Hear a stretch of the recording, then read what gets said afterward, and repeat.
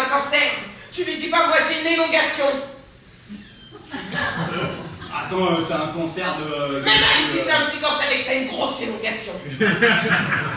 L'autre que tu fous en liberté, toi, faut vraiment t'enfermer, mon vieux. hein. Quand, quand- quand t'es malade, ça fait du bien de savoir que les autres, ils ont aussi des maladies, tu vois. Ouais, bien sûr. Et, euh, En plus, tu passes trois heures à lui expliquer que tu t'es fait en rattrapant un passing shot au tennis, alors que le mec te parle de sa chimiothérapie. Arrête, je j'ai jamais dit que c'était en rattrapant un passing, tu vas pas te faire une élongation en rattrapant un passing, j'ai dit que c'était en croisant un revers de volée que j'étais monté au filet et que c'était la jambe d'appui qui était. euh, qui avait. euh, parce que tu, vas pas te faire une bah, attends, en Fred, Fred, mais je m'en fous Ah. Mais t'es taré ou quoi, toi? C'est pas ça le problème, hein C'est la disproportion.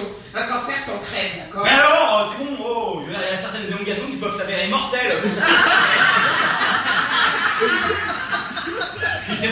pas la maladie qui fait peur, c'est le vocabulaire. Dire, l'élongation tout court, ça fait pas peur. Mais l'élongation du ligament interne, déjà ça calme. ça, ça, ça calme même plus que le cancer à la prostate. La plupart des mecs, si tu leur demandes, ils préfèrent garder leur cancer à la prostate que d'échanger contre une élongation du ligament interne. Parce que le cancer à la prostate, c'est dans l'ordre des choses de la vie, alors que l'élongation, c'est un truc euh, en plus. L'élongation, je veux dire, euh, faut que tu restes couché, alors que maintenant, le cancer, on a des médicaments, ça, c'est c'est bon. Ouais, bah toi, t'as pas besoin d'une élongation pour rester couché. Puis c'est relatif, je veux dire, euh, arrête de. euh, je veux dire, euh, toi, t'attaches de l'importance au cancer, mais un lépreux, euh, un lépreux, il dirait t'as un cancer, bah t'as du bol. si tu dis,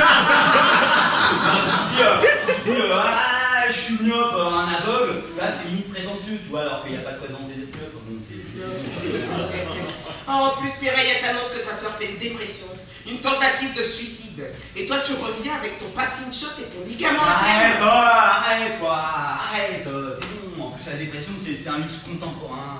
Pendant les guerres, t'as aucune euh, tentative de suicide, quoi. Si un mec essaie de se suicider à Verdun, je dis ouais, ce mec a un vrai dépressif.